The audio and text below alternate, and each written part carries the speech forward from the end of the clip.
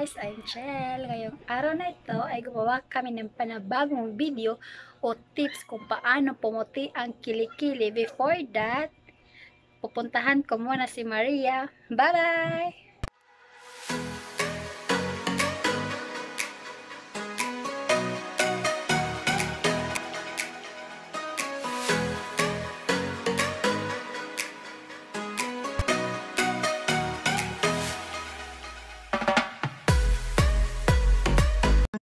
So ngayon, nandito na po tayo sa bahay ni Tada! Maria! Ano gagawin natin? Wait lang. So ngayon, magsisimula tayo sa ating session kung paano pumuti ang tada!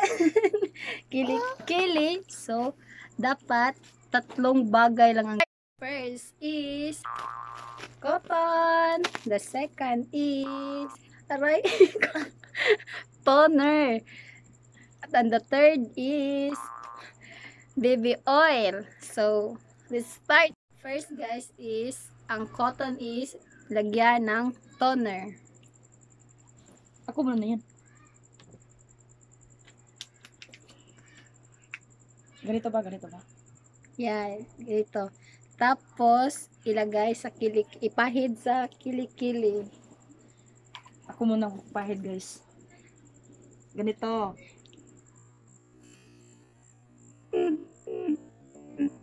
Ganito ba? Ganito.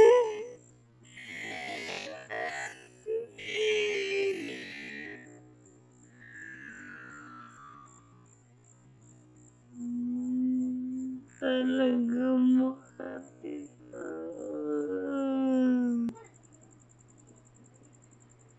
So, ganun.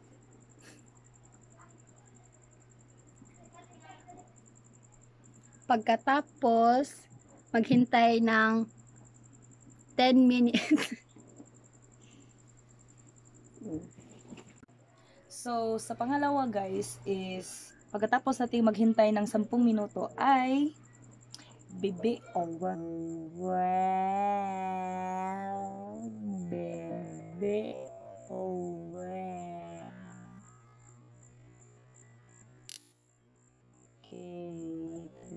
kailan na. Ganito.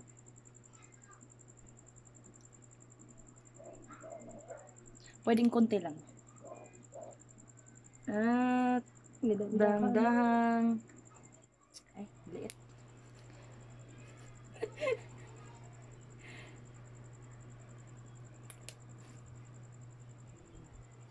Yan pumuti na.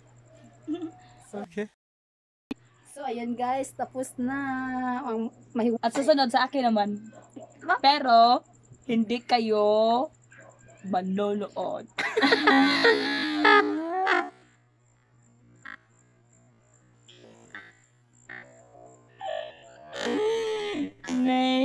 so guys, dito lang po tayo magtatapos at sisiguraduhin namin sa inyo na mabisa ang aming inahandog kahit simple lang.